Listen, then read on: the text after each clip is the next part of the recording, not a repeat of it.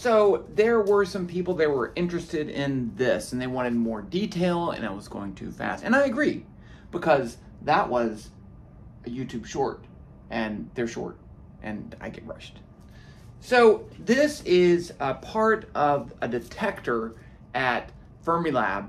Uh, it was the D0 detector and this was part of the calorimeter. So let me explain the whole thing starting from the beginning. So number one, I'm pretty sure that I was an undergraduate student working uh, there during the summer. I can't remember if I was a high school student or undergraduate student. That's probably an undergraduate student.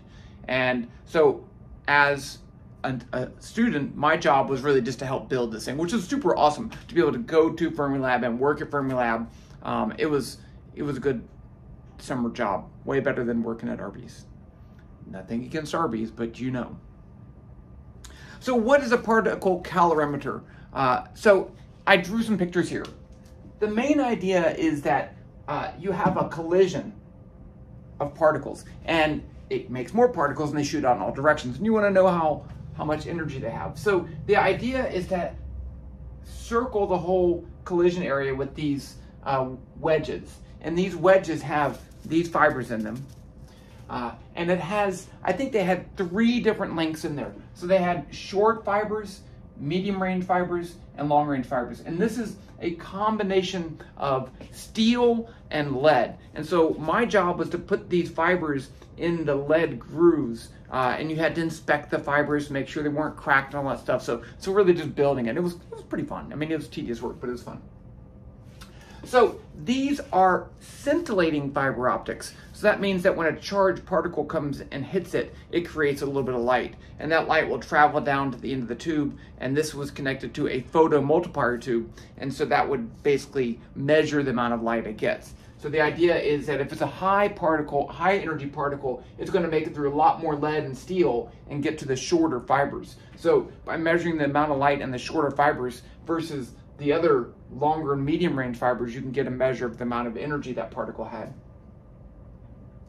So this is one bundle of fibers of the same length. So here's two shorter ones. They come up here and they go to a photodetector, uh, a photomultiplier tube that measures very, very small amounts of light. And then the medium ones are combined and so forth.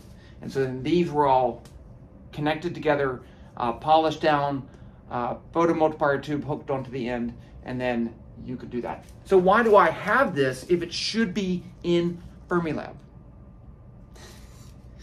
So we built this thing. It was the first one, and it's steel and lead, and it's maybe, I don't know, it's probably about a meter and a half long. It wasn't small.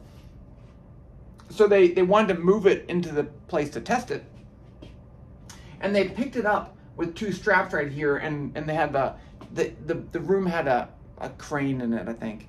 And they lifted it up, but for some reason, the way they lifted it, it was unstable. So they lifted it up, and the whole thing went tilted, and then it got even more unstable, tilted, tilted, boom, and just crashed on the floor. The whole thing was destroyed.